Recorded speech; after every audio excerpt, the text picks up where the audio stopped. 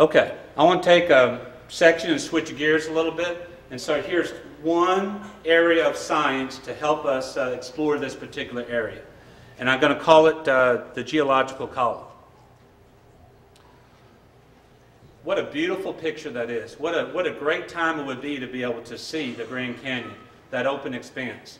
What caused the Grand Canyon? Well, that's a good question. We see all those layers there. And uh, geologists tend to organize those layers into different uh, uh, uh, labels and so forth. Well, it's called the geological column. Do you know the Grand Canyon goes down thousands of feet? That's a lot of rock. What is the geological column? Well, in theory, if you dig down and dig down and dig down, you'll see uh, all of these fossils in the rock. And uh, supposedly all these fossils have a nice little order to them. Okay? It, it, the story goes like this. You, have heard it before. Life started in the ocean, and we got animals, reptiles, and then uh, amphibians, then uh, mammals, reptiles, that is, and then uh, animals, and at the top there's man. You, you, we've seen that story. We're familiar with that. Of course, this is the tree, okay, where these different kinds somehow created new separate kinds of organisms, and of course, man is just, you know, from the ape. Now, I don't mean to disparage that, but here's some problems. Uh, these systems, these layers, were defined by creationists. Um, not all of the miles are known, not all the rocks. 70% of the land and oceans have seven strata missing. Hundreds of locations have missing order the layers are inverted, repeated, or inserted. Do y'all notice this? There's some problems with the rock layers. And by the way, if man started from an amoeba and became Adam, there should be all kinds of transitional forms in the rock layer.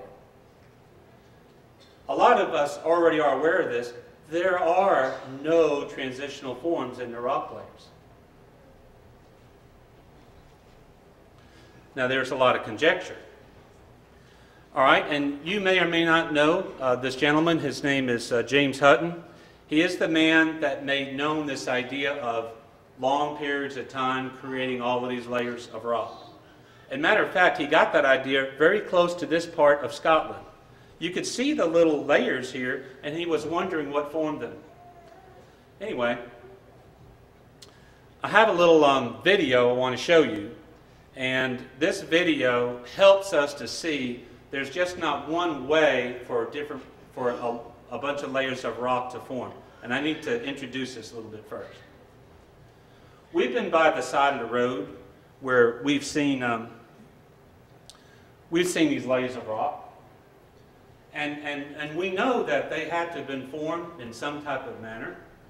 And we have been told that these layers of rock have been formed one on top of the other. And so if that is true, and it took a long time for these layers to form, then that whole geological column would represent a very long period of time. Well, there's been some experiments in sedimentology, and I want to point this out, this example out to you.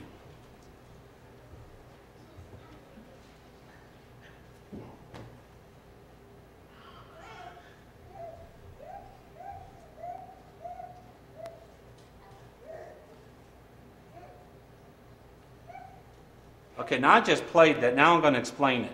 If you notice over here, this rock, this, this layer of soil is, is uh, being deposited as it goes from left to right. Watch that again. This is a flume. Water is flowing this way. Y'all, can you see the little sediment being formed this way?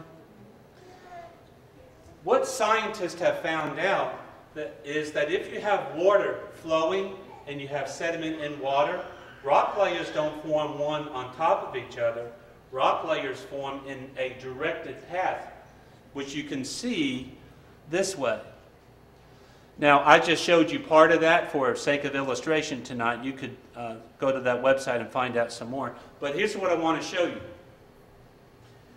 Because they have demonstrated that is one way for the sediments to form, and after you look at them, they look like they're going this way, but really, They were formed going in a direction. If this series of layers of rock were formed in that same way, what fossils are older? Is this fossil older or younger than that fossil up there? What about this fossil? If this fossil was caught in the sediment, it is actually what? Younger than the fossil up there to the left because the layers were formed in that particular sequence. Now, if we had time and we went through all of the science on that, would that be a devastating blow to the idea of long geological time? Well, that's just one area of science. Um, by the way, this is a series of rocks that were formed in 1968 in Colorado. Well, I don't want to bore you with all the science per se, but science is important. And here's some other areas that help us to see the value of studying science. And so the question is simply this Do these things from science corroborate the evolutionary model, or do these corroborate the creation model? That's a good question. And that's what we're asking our students to study when they are going through school. And I think that's a reasonable approach. Okay. I want to take